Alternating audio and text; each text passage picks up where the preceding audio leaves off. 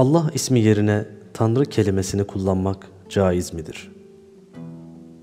Tanrı kelimesi Arapça ilah kelimesinin karşılığıdır.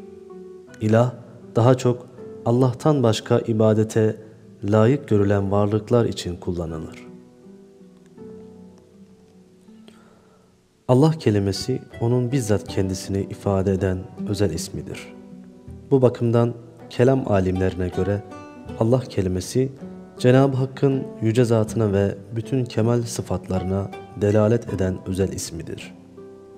Hiçbir dilde bu kelimenin ifade ettiği özel manayı kapsayacak bir kelime bulunmamaktadır. Öte yandan Allah kelimesi bütün Müslümanlar için tevhid inancını temsil eden ortak bir bağ niteliğindedir. Bu sebeple Müslümanların ibadet ettikleri tek yaratıcılarını Allah diye anmaları daha doğru olur. Dolayısıyla Allah bu adla veya Esma-i Hüsna adı verilen 99 isimden biriyle anılmalıdır.